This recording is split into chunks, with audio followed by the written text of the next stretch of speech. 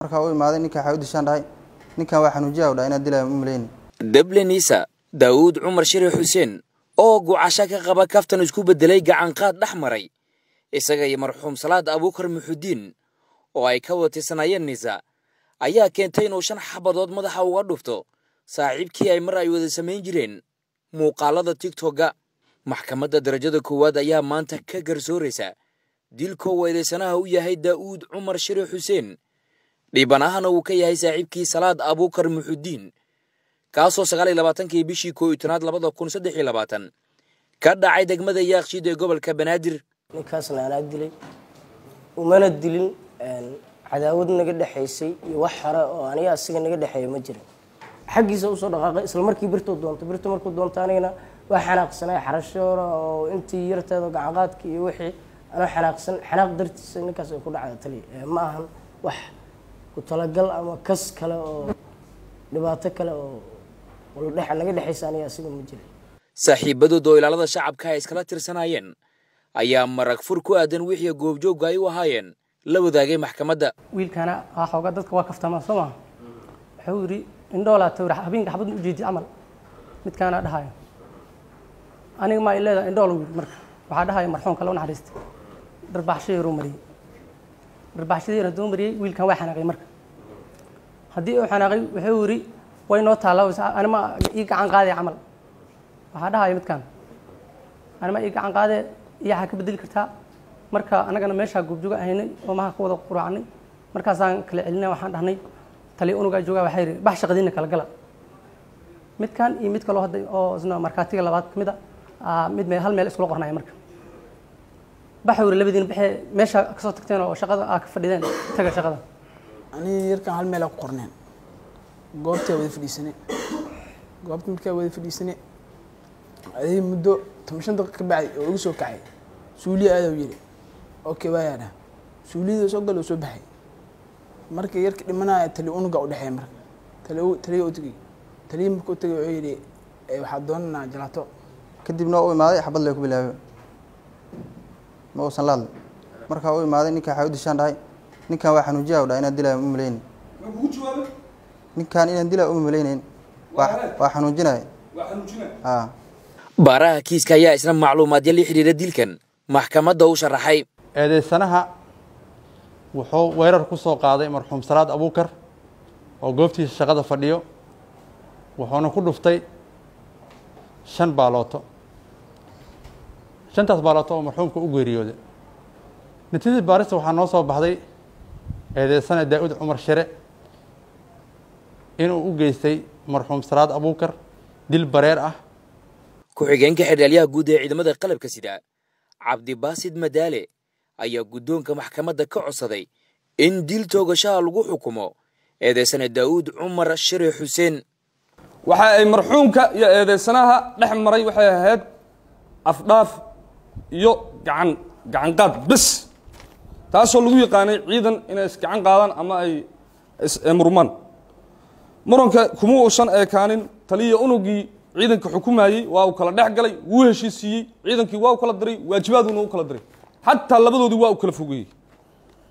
Balse eedeysane daawuud cumar kuma uusan eekaanin ama amiirtii taliyihiisa iyo dhexdhexaadintii taliyihiisa kumaysan filnaanin wuxuu cuqdad uu ka sii qabay wixii dhex maray asaga iyo marxuumka. Isaga oo been ku andacoonaya in uu aadi doono suuli ama musqul ayuu wuxuu saaxiibkiisa shaqo wadaagga ah uga soo dhaqaaqay inuu musqul aadayo kadibna taliyihiisa u sheegay in uu ka doonanayo dukaanka cabitaan. Dukaankii markii uu aaday dukaanka goobta dukaanka cabitaanka uu ka doonanaya marxuumka ayaa shaqada ka lahaa. Goobtii marka uu aadayna marxuumkii uu dhahay maxaa iga soo marxuumkii hadalka dhammaystirin ayuu shan baaloota madaxa ugu dhuftay. Maxkamadda horteeda waxaan keennay maragyaal waxaan keennay warqadda caddeynta dhimashada waxaan keennay sawirada goobta waxaan keennay dhammaan dembi muujin marag muujin iyo maragyo intaba waa keennay iyo baaraha kiiska. Intaas waxaa dheeraa oo oo taliyaha asaga xukumayey asaga iyo marxuumkaba xukumayey oo maxkamadda horteedana ka sheegay baaritiistana u sheegay in uu lahaa balwad maandooriye. Maandooriyahaas uu isticmaalayana waa daawo ama kiniini loo yaqaano tramadol. Mudane guddoomiye garsooreyaal maxkamadda sharafta le tramadool kiniinka loo yaqaano ee uu ka raadinayey sakrad ama uu u isticmaalayay maandooriye ahaan maxaa loo isticmaalaa asalkiisa? Waxaa loo isticmaalaa qof xubin go'day qarax la kulmay lug ama gacan ka go'ay dhaawac kan ugu culus ku jira. Waxaa kaloo loo isticmaalaa qof saalada saaran oo qalliin ku socdo. Kiniinigaas qofka intuu isticmaalay raaxo ka raadinayo iskaba dhaaf mas'uuliyad uu shacab iyo qaran iyo ummad soomaaliyeed uu qabtee naftiisa xataa mas'uuliyad kama noqon karo. Waa kayr mas'uul. Halahaas haddaa uga imaano waa gacan ku dhiigle arxan daran. Wuxuu ku jawaabay saaxiibkiis markuu shanta baalooto ku dhuftay. Inuu xanuunsanaayo iyo in kale aan fiirinayo. Taasaa caddaynaysa in uu daroogaysnaay oo uu talaamadool ka dhargay kadibna uu isku qufulay oo uu gocday. Gacanqaadkii saaxiibkiis mar hore uu gacan qaaday. Saasna uu shan baalooto ugu dhuftay. Haddaba mudane guddoomiye garsooreyaal maxkamadda sharafta waqtigeeda dhowraayo waxaan maxkamadda sharafta le ka codsanayaa mudane guddoomiye garsooreyaal oo dil toogasho lagu xukumo. Maxkamadda sharafta le waa mahadsantahay qareenka eedeysanaha cabdiraxmaan axmed cabdulaahi ayaa isna u dalbaday muwakilkiisa in loo fiiriyo si fifaalaha dembiga fududeeya. Haddaysan jirin cadaawad hore iyo daandaansi hore iyo beegsi hore haddaysan jirin. Un keliya maalintaas dhacdo dhacday kaftankii uu ka dhashay kaftankiisana gacanqaad uu ka dhashay gacanqaadkiina xanaaq intuu ka dhashay dhimasho ka timid. Natiijadaasi maxay noqon kartaa? Mudane guddoomiye garsoore mar hadduu cad yahay kiiska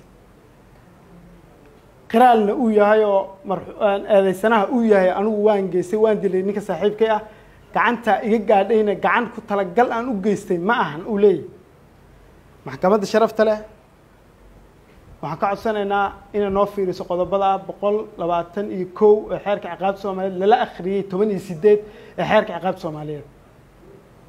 Inay noo fiiriso qodobadaas nooguna naxariisato maadaamuu nin da-yar yahay ilaalada qarankii iyo dowladda uu shaqeynaya duruufta lagu jirana uu ku shaqeynaya aan garan karno.